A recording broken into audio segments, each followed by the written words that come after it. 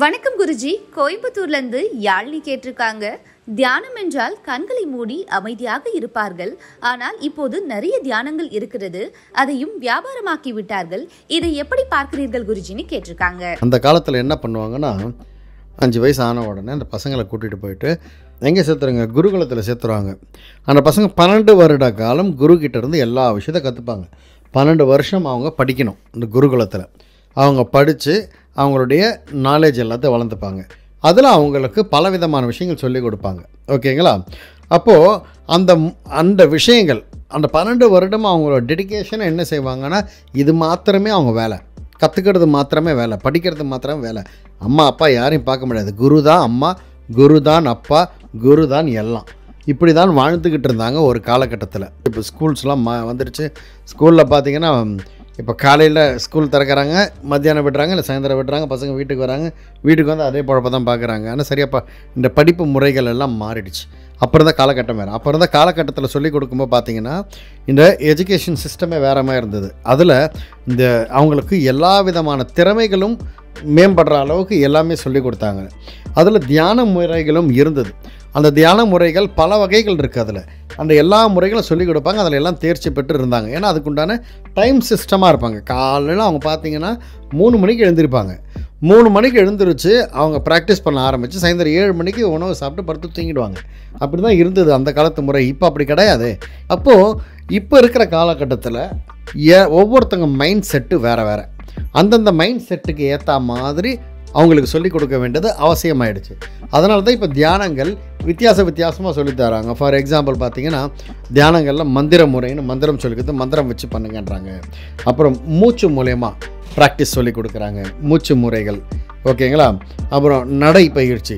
நடந்துக்கிட்டே எப்படி தியானம் பண்ணுறது ரிவர்ஸில் நடந்துக்கிட்டே எப்படி தியானம் பண்ணுறது அதை சொல்லித் தராங்க. மைண்ட்ஃபுல்னஸ்னு ஒரு மெத்தட் இருக்குது அந்த மெத்தடில் சொல்லித் தராங்க. அதாவது இப்போது என்ன நடக்குதோ அதை அப்படியே கிரகிச்சுக்கிறது. ஓகேங்களா? அதை கிரகிச்சு தற்காலத்தில் எப்படி வாழணுன்ற வழிமுறை சொல்லி கொடுக்குற ஒரு முறை உண்டு. அப்புறம் இந்த யோகா முறை.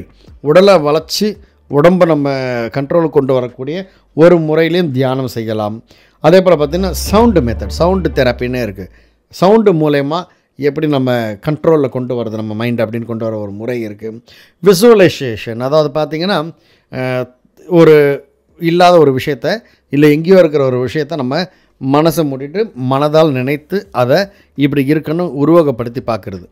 ஸோ இது போல் பல வகைகள் இன்னும் நிறைய இருக்குது மெத்தட்ஸில் அதை பிரித்து பிரித்து பிரித்து பிரித்து பிரித்து என்ன பண்ணுறாங்க அதை ஒவ்வொரு மெத்தடாக சொல்லி கொடுக்குறாங்க. ஏன்னா எல்லாமே மொத்தமாக ஒருத்தருக்கு சொல்லி கொடுக்கணும்னா வந்து நீ வந்து இங்கே வந்து ஒரு ஒரு வருஷம் தங்கு ரெண்டு வருஷம் தங்கினா யார் தங்குவாங்க? ஸோ இதுக்கு மாத்திரமே டைம் ஸ்பெண்ட் பண்ணக்கூடிய லெவலில் யாருக்கும் டைம் இல்லை. அப்போ ஒவ்வொன்றா பேக்கேஜ் பேக்கேஜாக சொல்லிக் கொடுக்குறாங்க. சொல்லிக் கொடுக்குறவங்க குடும்பம் இருக்குல்ல அவனும் சாப்பிட்ணும்ல அப்போ என்ன பண்ணுவாங்க? அப்போ அதுக்கு ஒரு பேக்கேஜுக்கு அமௌண்ட் போட்டு தான் சொல்லி தருவாங்க.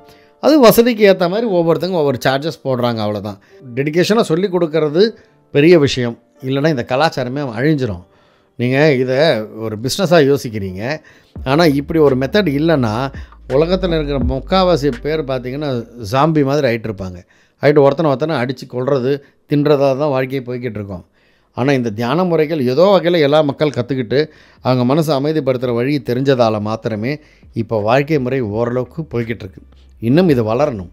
இது காசு வாங்கினா வாங்கிட்டு போட்டோமே கொடுங்களேன். எது எதுக்கோ செலவு பண்ணுறீங்க நல்ல விஷயம் தானே போய் கொடுத்துட்டு கற்றுக்கலாமே தப்பு இல்லையே. கற்றுக்கிட்டு உங்களை நீங்கள் சரி பண்ணிக்கிறதுக்கு தானே. அதில் உங்களுக்கு எந்த முறை பிடிச்சிருக்கோ அந்த முறையை கற்றுக்கங்க எல்லாமே கற்றுக்க முடியும்னு எல்லாரும் சொல்ல முடியாது. சிலருக்கு மியூசிக் பிடிக்கும் அவங்க சவுண்ட் மெத்தட் தெரிஞ்சுக்கோங்க.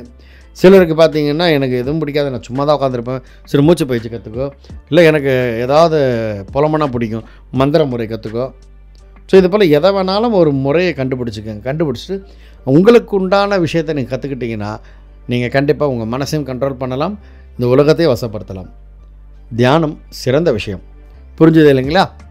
நல்லது நடக்கட்டும் நல்லதே நடக்கும். சாய்ராம்.